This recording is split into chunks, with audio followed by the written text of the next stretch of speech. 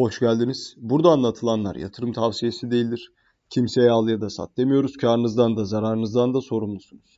Abone olup videoyu da beğenmenizi rica ederim. Şimdiden teşekkür ediyorum. E, Secin arkadaşlar ekstradan Duvon'a da e, dava açtığı biliniyor. Duvon hakkında şikayette bulunarak e, kendisinin de bundan en büyük payı olması sebebiyle yine biliyorsunuz Terraform Labs ile alakalı şikayette bulunmuştu ABD Seç. An itibariyle Duvon içinde bunu gerçekleştirdi. E, nitekim ilerleyen süreçte tıpkı Güney Kore tarafında olduğu gibi Amerika tarafından da arkadaşlar e, Duvon'u aramaya yönelik hareketler gelebilme ihtimali çok yüksek.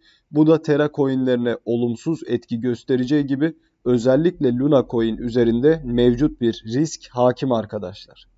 İzlediğiniz için teşekkür ediyorum. Abone olup videoyu da beğenebilirsiniz. Bol kazançlar dilerim izleyen herkese. Hoşçakalın.